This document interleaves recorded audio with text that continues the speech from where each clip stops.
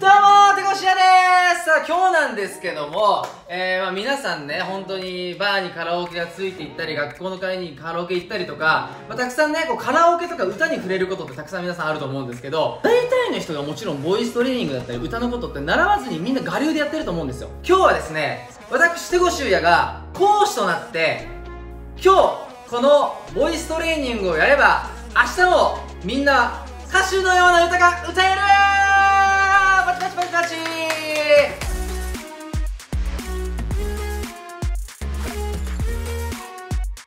僕いろいろこう今までもいろんな方に歌を教えてきたあのことがあるんですけどまあちょっと意識を変えたりとか歌い方とか変えるだけで本当に歌ってすぐ変わるんですよ。なんかちょっとみんながこう次にカラオケ行ったりとかこう学校で音楽の授業があったりとかするときにこうちょっと自信が持って歌好きって言ってもらえるような、えー、風に皆さんにですね歌に対してもちょっと意識を変えてほしいなと思いまして今日はねこう自宅で撮影しております。まずえー、やってほしいことなんですけど、歌ってピアノもいらない、ギターもいらない、ベースもいらない、もう自分が楽器じゃないですか。サッカーしたり、野球したり、体育の授業の前には必ずストレッチをしますよね。で、歌に対してのストレッチっていうものもあるので、まず僕が普段レコーディングだったり、ライブの前にやるストレッチ、ウォーミングアップっていうものを皆さんにお伝えしたいと思います。まずはですね、もう本当に体のストレッチです。えー、もうちょっとね、絵的に切れるかもしれないんですけど、まあ、軽い前屈を入れて、まあちょっとね、こう、体を温める意味で反ったりとか、あとまあ、歌に必要なのってこの横隔膜の筋肉だったりとか、やっぱりこの首の筋肉、声を出すのに必要な筋肉があるんですけど、もうスポーツのストレッチと一緒ですね。もうこんな感じで伸ばしてあげてください。あの、こう軽くマッサージしながら。で、この喉仏のこの横の筋肉とかも、こう軽くほぐしてあげてください。あのグイグイする必要はないので軽くこういう感じでねリラックスさせてあげる、まあ、マッサージですね。必ず僕がやることレコーディングブースに入ってやることですね。あの唇を鳴らします。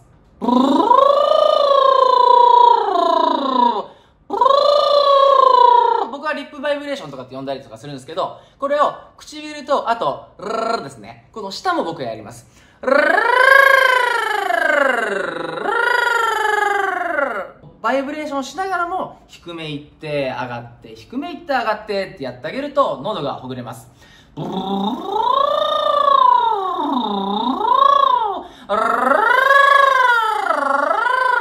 いう感じでこう喉でね今から歌うぞっていう信号を送ります。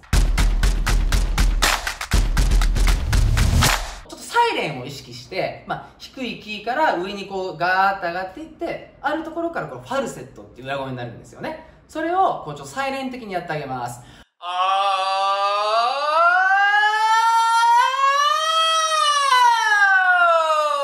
っていう感じで実際は長めにやりますけどある程度歌う前の準備。本来はもうちょっと時間かけてやります。ただ今日はこの YouTube なんでまあこれをゆったり皆さんは、えー、喉のためにやってあげてください。喉の一番のあの敵は乾燥なんで常にこのお水まあ僕はライブの時は水だったりハーブティーを飲むんですけどカラオケとか行った時もずっと歌いっぱなしではなくてちゃんとこう水分補給喉に水分を与えてあげてください。喉のトラブルが起きた場合、えー、声が出にくいガラガラ声になった時にちょっと皆さん一番勘違いしてるのが声が出ない時にあのさあのねってやるじゃないですか声が出ないから。これはやめてください。っていうのも、あのーっていうのっていうのは、喉を空気が通るので、すごい乾燥状態になります。でもこれは多分、それぞれにもしかしたら個人差がある可能性がありますけど、僕の場合は、無理してでもちょっと声を出し出してあげます。これ多分、あのっていう方が声を出してないっていうふうに思われがちなんですけど、これちょっとね、喉を乾燥させない。っていうことを喉のケア、えー、枯れた時もちろんこれは風邪とかの対策もそうだと思いますけどそれは皆さんねぜひ、えー、考えてあげてほしいと思いますず声を出す上で意識してほしいこと。声は声量声域ってありますけど声量はこの声の大きさ。声域はこの声のレンジですね。高い声が出るみたいな。歌と喋る時の決定的な違いが喋る時って 30m 先の友達とかを呼ぶ時に「おーい!」って呼ぶじゃないですか。これすごくいい発声なんですよ。でもみんなカラオケでマイク持った瞬間にここに歌っちゃうんですよね。このマイクに対して。マイクを使わずに向こうの友達に「もしもーしなんとかくん!」って遠くに投げてあげる意識をまず持ってくださいで体を1個の楽器だと思って声っていうのはもちろん声帯で出ますけどここの筋肉も腹筋もっと言うと下半身全てで声を出すっていう意識を持ってくださいなんで小手先みたいに「あのさー」じゃなくて「あのさー!」っていう風に声を遠くに飛ばしてあげるこの意識もすごく大事ですそれによって声が大きくなって出やすくなってこの音域高い息にも伸びていきます。音域音域に関して言うと高い声が出ないっていう悩みの人が多分一番多いと思います。高い気を出す時にすごく勘違いしているのがこう歌うイメージ。カラオケで言うと座ってこう歌うイメージ。こうのけぞって。これって一番声出ません。どういう時に一番声が出るかっていうのは簡単に例えて言うとねあなたがここに立ってます。で横から強い力をこうドーンって押してもらいます。どういう体勢しますか？こうやって伸びきりますか？したらドーンってなっちゃうじゃないですか。多分みんな膝を曲げて下に重心を加えてこう耐えられるように多分すると思うんですよ。グーって。スクワットの体勢みたいな。グーって。なんでそういう体勢をするかっていうと人間が一番パワー出る体勢が下に重心がかかってるこういう体勢だから一番パワーが出る。歌も実は一緒なんです。よくハイトーンが得意なアーティスト。x ジャパントシさん男性でいうと B'z の稲葉さんケミストリーの堂珍さんミスターチルドレン桜井さんとか。ちょっと高いキー出してるところを見比べてほしいんですけどみんなこう出さないです。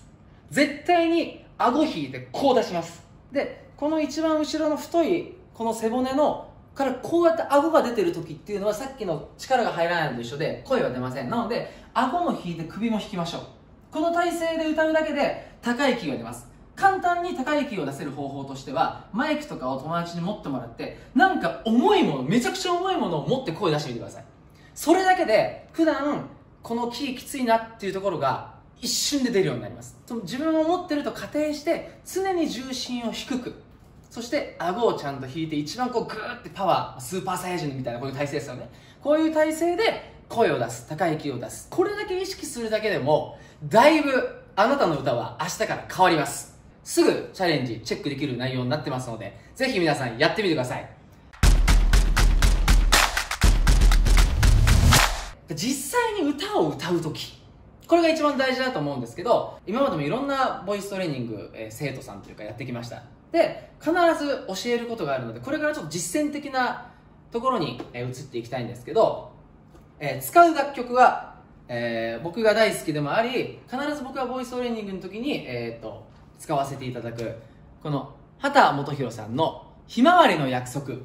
えー、この楽曲を使いながら皆様には教えていきたいと思います。で何を教えるかっていうとカラオケで点数が出る歌い方とアーティストが実際にするステージ上で人を感動させる時の歌の歌い方っていうのは全くの別物です。曲っていうのはイントロがあって1番の AB メロサビ。で2番の AB メロサビ。もちろん曲によって構成は若干変わりますけどその先に大サビっていうところがあって大体ラストサビっ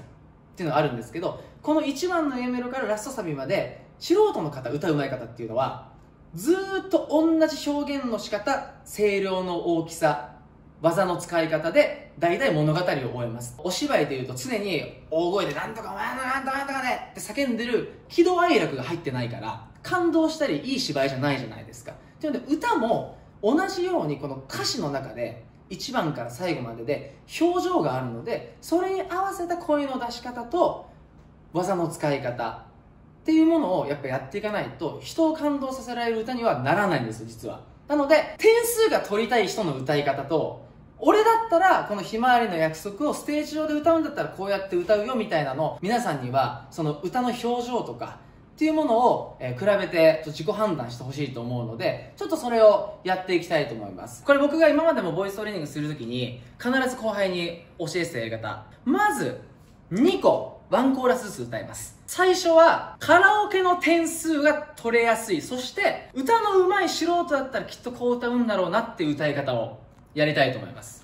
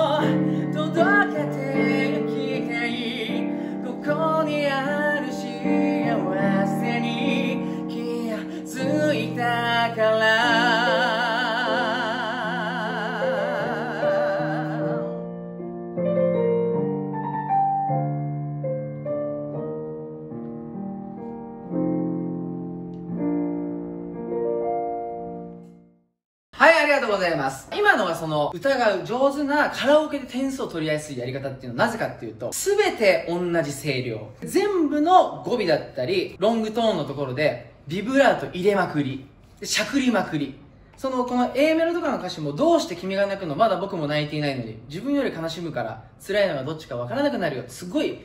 葛藤の歌詞じゃないですか。こんな強い人がじゃあ果たして葛藤しますかっていうふうに僕は捉えるんですよね。まあしかもこれまだ1番です。最後のサビは今のでいいんですよ。ただ、1番でまだ曲が始まった序章なのに、いきなりこんだけテクニックも入れて、ビブラートも入れて、声量を増すっていうのは僕だったらしないです。特にこの畑さんってそこら辺の表現力めちゃくちゃ上手です。抜き方めちゃくちゃ上手。もちろん畑さんのようには僕はできないかもしれないですけど、僕がこの曲をライブで歌うんだったら、こうしますよっていうのを次お見せしたいと思います。というわけで、水分補給大事なんで水分飲みますね。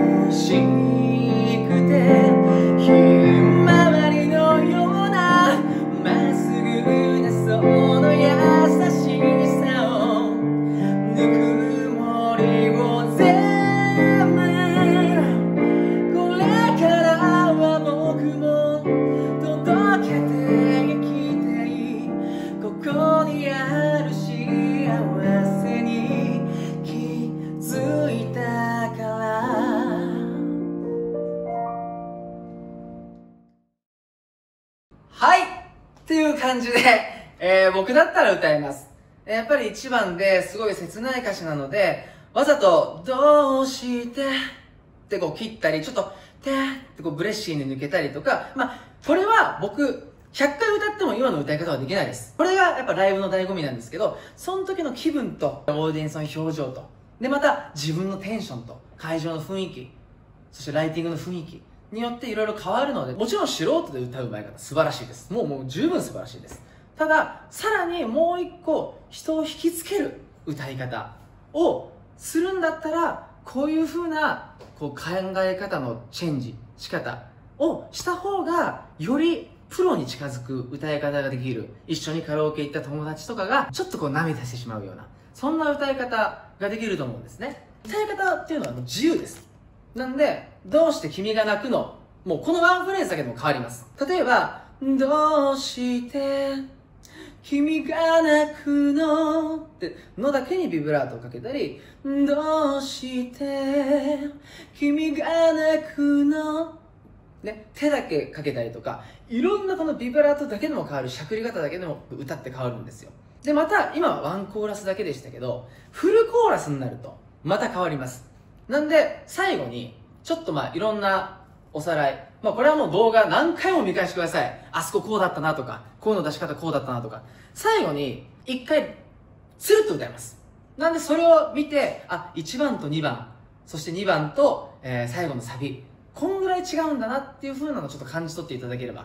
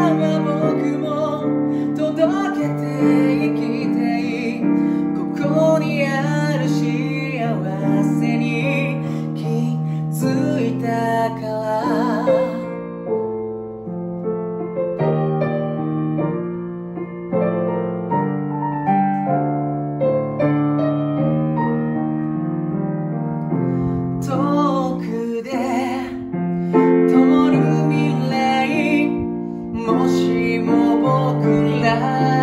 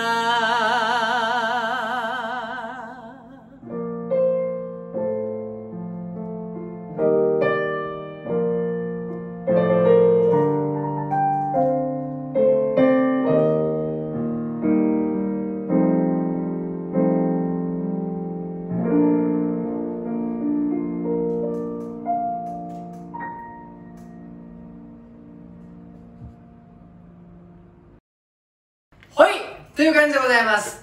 はい。あのガチで真剣にマイクもなしで歌ったんですけれども。もう見てくださった方は本当わかると思いますけど本当一番はもうゆったり語りかけるように歌う。そして、ま、2番はちょっとこうギアアップ。で最後のサビは最初のそばにいたいよ君のためにできることが僕にぐらいまでは本当静かにこう一回落ちるんですよね。そこはもうがっつり泣かせポイントなんでもう声も落としてもうちょっと切なさそばにいたいよ。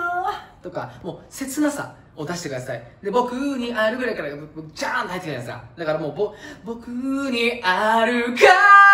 なってもう伸び伸びと歌ってください。でもう最後いつでも君にぐらいからはもうフルスロットルでもう全てこの思いを伝えるんだぞっていう気持ちでもうパワーを全身、えー、曲にぶつけてください、えー、僕がひまわりの約束をもし、えー、僭越ながら歌うんだったらこういう風に、えー、歌いますと、えー、いうことを、えー、今皆さんに、えー、見てもらいました。というわけでですね、まあ、今日、えー、初回にしては結構がっつり あの教えたんですけどもあのー、本当に例えばあの細かいところでこんな綺麗な裏声ファルセット裏声って言うんですけどどうやって出すの？でミックスボイスっていうのがあって、まあ、地声と、まあ、ファルセットの間に出すこう強いバコーンっていうちょっと混ざったような音があるんですけど、まあ、そういう、えー、出し方声の出し方だったり、まあ、しゃくり方とか